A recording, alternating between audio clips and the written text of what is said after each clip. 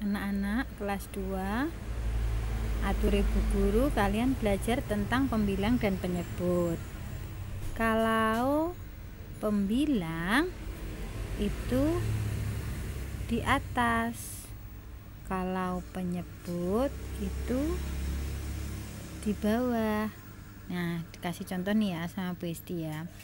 Kalau ada 2 per 3 maka yang atas kan 2 ini dibaca 2 per 3 2 ini disebut pembilang.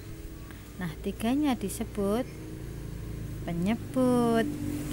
Jikalau misalnya 2 per 3 ditambah 4 per 3 sama dengan 2 tambah 4 sama dengan 6 per 3 bukan tiganya ditambah tiga bukan. Tetapi tiganya tetap ditulis tiga saja. Tak yang ditambahkan hanya yang atas. Dua sama empatnya ini yang ditambahkan. Dua ditambah empat sama dengan enam. Nah tiganya tetap ditulis tiga. Enam ini sebagai apa? Pembilang. Terus tiganya sebagai apa? Penyebut. Nanti deh kenapa kok yang bawah nggak ditambahkan? Nanti ya di video berikutnya